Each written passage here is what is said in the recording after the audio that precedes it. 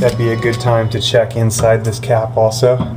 Often there's a, set this down so I can get my other hand on it. But anyway, you squeeze these two clips in and then they just pull the cap right out.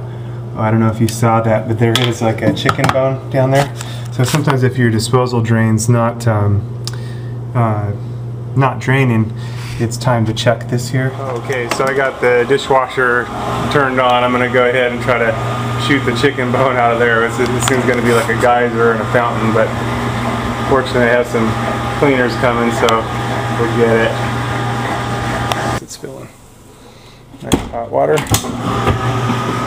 There it is. There's the geyser. well, the blinds needed some cleaning there, so.